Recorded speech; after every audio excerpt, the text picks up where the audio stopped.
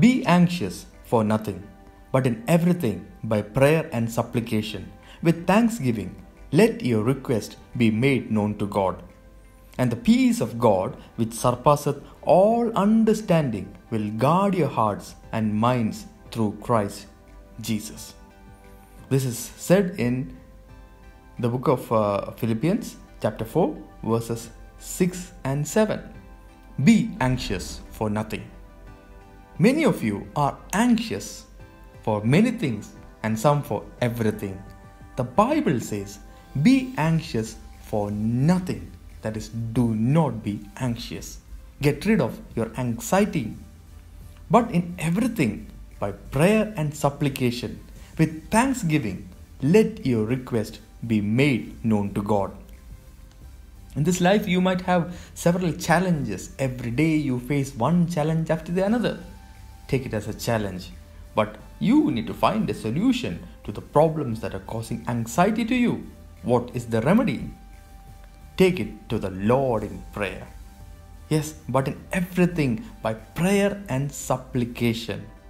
With thanksgiving, let your request be made known to God. When man cannot help you, when man can do nothing, where do you turn to? Turn to God. How do you approach God? You pray to God. You go to Him with your supplications. You give Him thanks. You give Him thanks in advance that He is mighty enough to get you out of that problem, whatever be it. When man cannot do a thing, remember God is still alive. God is still on the throne. Yes, the King of Kings and the Lord of Lords. He is there for you. When the courts of the world, maybe the law, the sessions court, the high courts, the supreme court of the land, still if you cannot get justice, where do you go? You go to the heavenly court.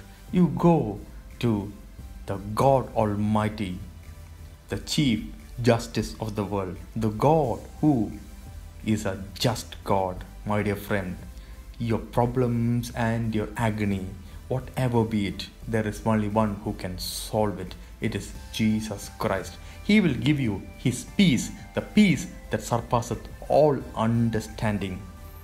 You might be anxious about what you will eat, what you will drink, what you will wear. You might be anxious about what is going to happen next.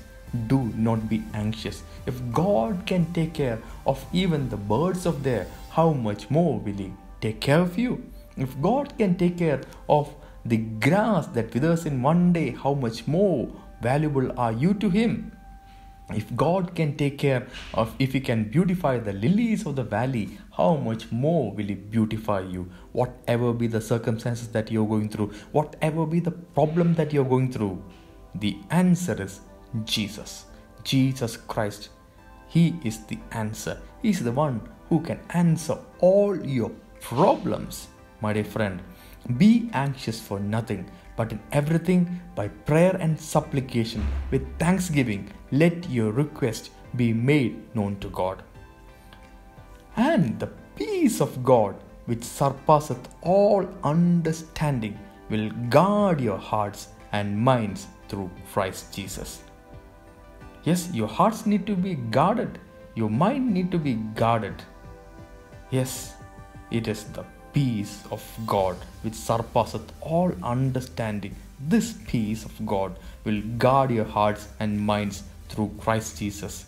You need to be guarded against agony, anxiousness, oh, the pain of yesterday, uh, the troubles of each day. My dear friend, the antidote is Jesus Christ.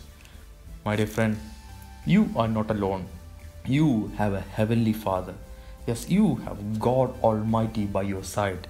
He will take care of all your needs. He will never leave you nor forsake you. He is alive and well.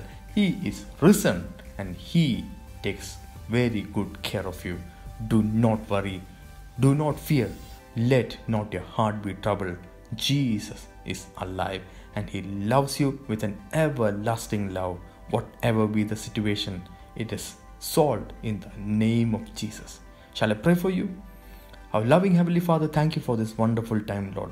Thank you, Lord, for teaching us through your word that we need not be anxious for anything, but in everything, by prayer and supplication, with thanksgiving, we you have asked us to send your prayer request to you, Lord. Lord, we ask in the name of Jesus Christ. Lord, all our anxiety, let it be removed in the name of Jesus. Lord, we give our cares, our troubles, everything to you, Lord.